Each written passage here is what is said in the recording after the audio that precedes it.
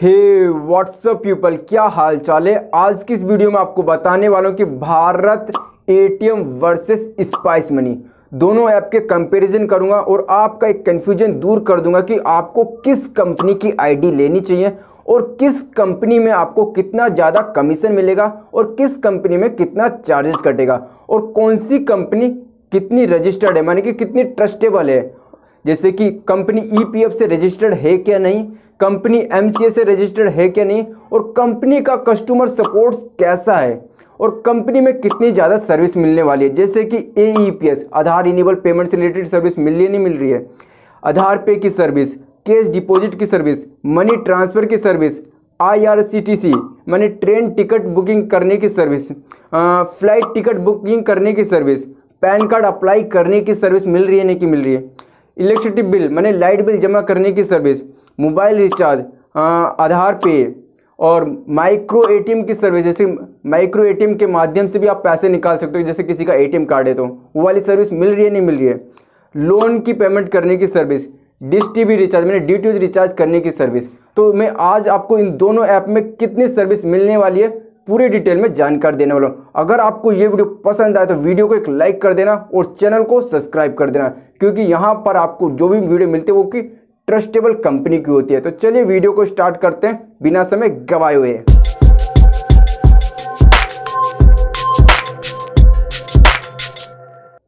अब हम जान लेते हैं कि भारत एटीएम ऐप कंपनी और स्पाइस मनी कंपनी की रिटेलर या मर्चेंट आईडी लेने का कोई चार्ज लगता है या नहीं। तो दोनों ही कंपनी की आईडी बिल्कुल फ्री है। कोई चार्ज नहीं लगता है रिटेलर आईडी लेने का। तो अगर आप स्पाइस मनी या भारत एटीएम ऐप की आईडी लेना चाहते हो तो उन दोनों वीडियो का लिंक आपको डिस्क्रिप्शन में मिल जाएगा। उन वीडियो को देख के आप भारत एटीएम और स्पाइस मनी की आईडी ले सकते हो। अब हम जानेंगे कि कस्टमर के आधार कार्ड से पैसे निकालने पे कितना कमीशन मिलता है भारत एटीएम ऐप कंपनी में और स्पाइस मनी कंपनी में। तो भारत एटीएम ऐप कंपनी के बारे में सबसे पहले जान लेते हैं। तो अगर आप तीन हज़ार एक रुपये से ऊपर निकालते हो जैसे निकाल लो चार हज़ार निकालिए, पाँच हज़ार या दस हज़ार। तो पंद्रह रुपये का कमीशन मिलता है। कमीशन आपको इधर दिख रहा होगा, भारत एटीएम ऐप का। आप इसका स्क्रीनशॉट ले सकते हो। और स्पाइस मनी कंपनी में हाईएस्ट कमीशन है, केवल दस रुपये का। इसमें कमीशन के तीन स्लेब बना रखे हैं। माने कि slab A slab B slab C माने कि तीनों कमी, जो तीनों स्लेब हैं इनमें कमीशन कितना मिलता है? केवल दस रुपये हाइस्ट कमीशन है और कमीशन स्ट्रक्चर आपको यहाँ पर दिख रहा होगा। तो इतना कमीशन मिलता है।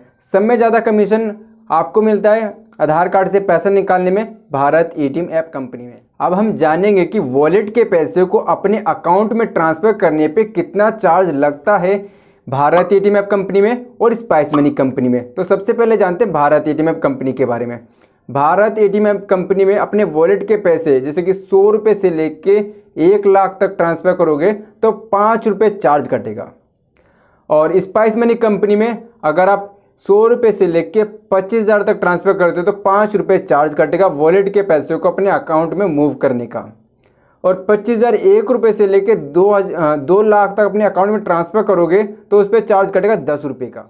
अब हम जानेंगे कि डोमेस्टिक मनी ट्रांसफ़र करने पे कितना चार्ज कटता है भारत एटीएम ऐप की आईडी में और स्पाइस मनी की आईडी में। तो सबसे पहले जानते हैं भारत एटीएम ऐप की आईडी से।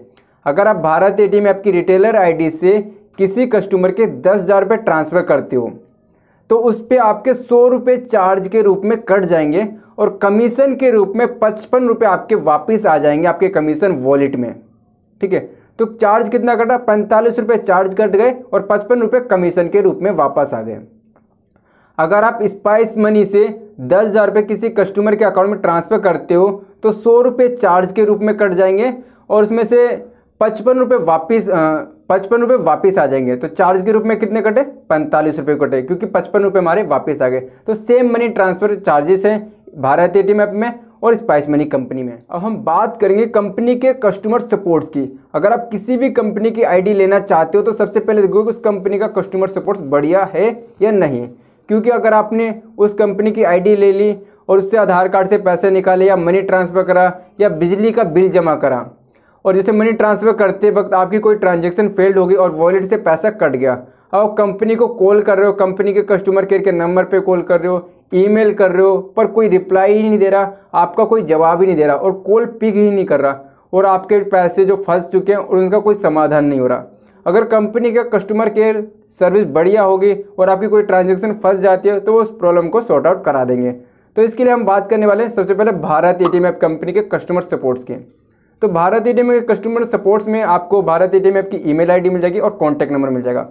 अब मुझसे पूछोगे कि कस्टमर सपोर्ट्स कैसा है भारत ए ऐप का तो मैं कहूँगा कि ये कॉल नहीं उठाते हैं। पहले तो ये बात है कि भारत एटीएम वाले कॉल नहीं उठाते कभी कभी जब ट्रांजेक्शन फंस जाते ना तो उस बंदे का कॉल नहीं उठाते हैं।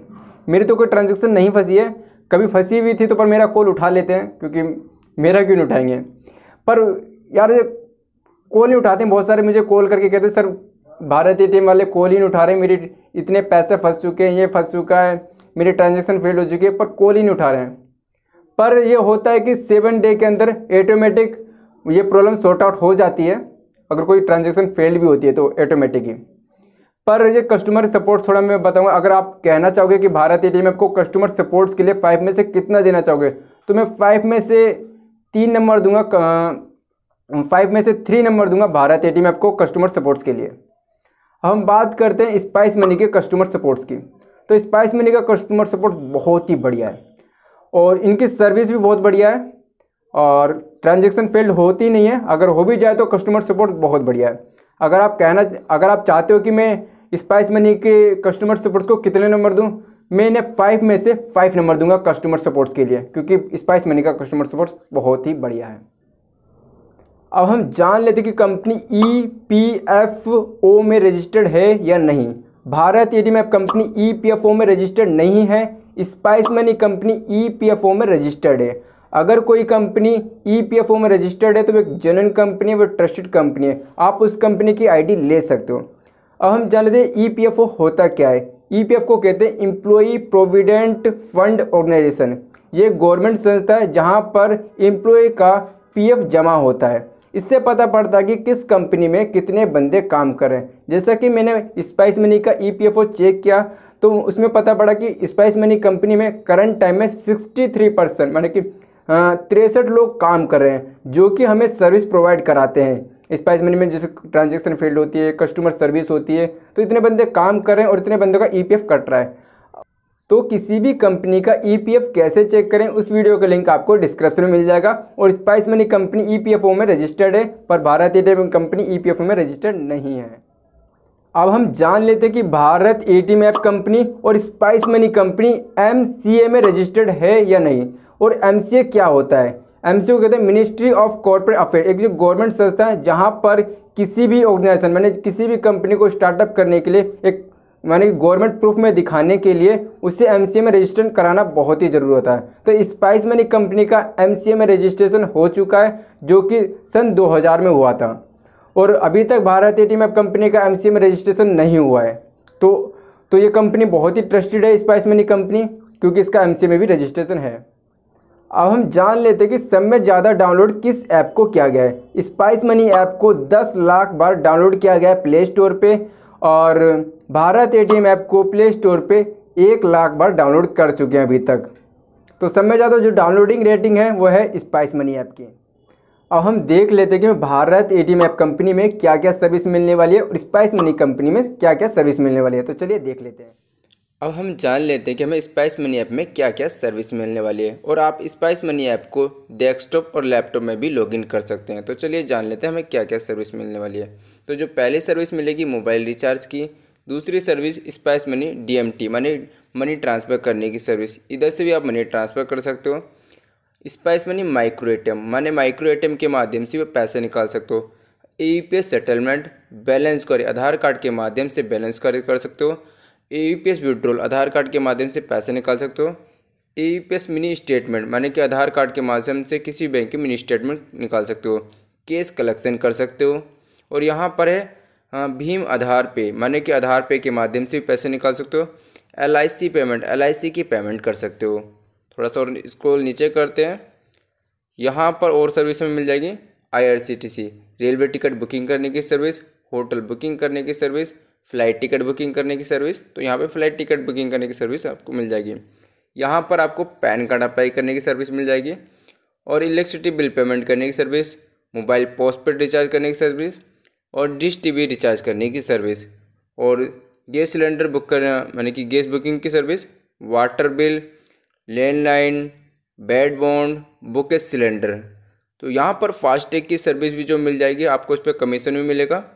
और यहाँ पे लोन पेमेंट पे भी कमीशन मिलेगा इंश्योरेंस की सर्विस मिल जाएगी। तो इस पास मनी ऐप में आपको बहुत सारी सर्विस मिल जाएँगी। अब हम जानेंगे कि हमें भारत एटीएम ऐप में क्या क्या सर्विस मिलने वाली है। तो भारत एटीएम ऐप में जो पहली सर्विस मिलने वाली है मनी ट्रांसफ़र की मिलने वाली है। दूसरी गेट सेटलमेंट वॉलेट के पैसे को अपने अकाउंट में ट्रांसफ़र कर सकते हो। चेक बैलेंस आधार कार्ड के माध्यम से बैलेंस चेक कर सकते हो। बिल पेमेंट की सर्विस ये अभी कमिंग सुन है, अभी आई नहीं है। कैश डिपॉजिट, आईसीआई बैंक के कैश डिपॉजिट कर सकते हो। आधार पे की सर्विस, यहाँ से आधार पे के माध्यम से आप पैसा निकाल सकते हो। कैश विड्रॉल कर सकते हो आधार पे के माध्यम से और Q R code, Q R code के माध्यम से पैसा पे कर सकते हो।